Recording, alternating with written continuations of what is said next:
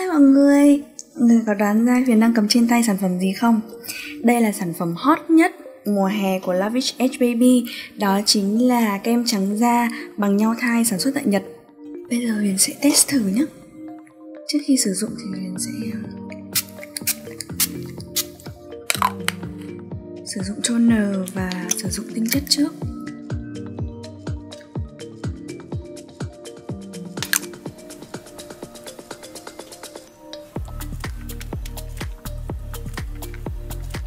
Cái lọ này là huyền đã đang sử dụng rồi nhé. Huyền mở ra. Chất kem nó rất là mềm mịn nhé. Khi mà thoa lên.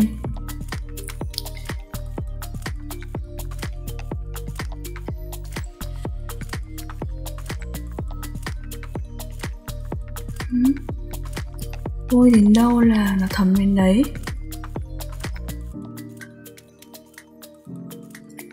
Với thành phần làm trắng cao cấp từ nhau thai, dịu nhẹ với cả làn da nhạy cảm, nuôi dưỡng da chuyên sâu, giúp mịn da, xe khít lỗ chân lông. Đặc biệt là khi thoa lên da bạn đã căng trắng mà không cần phải tẩy trang nếu như bạn không sử dụng kem chống nắng chuyên dụng.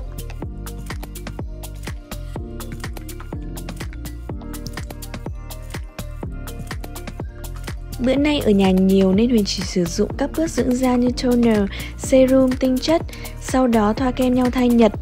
Sản phẩm này mà sử dụng vào mùa hè thì phải nói là cực phẩm vì nó không gây bết dính, thoa đến đâu là thấm đến đó.